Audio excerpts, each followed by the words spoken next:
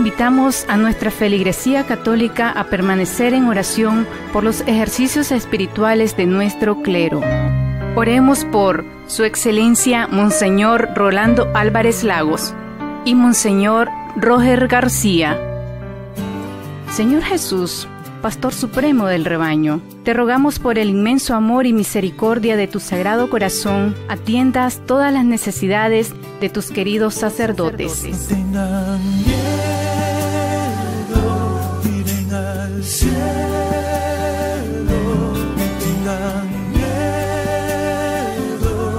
siempre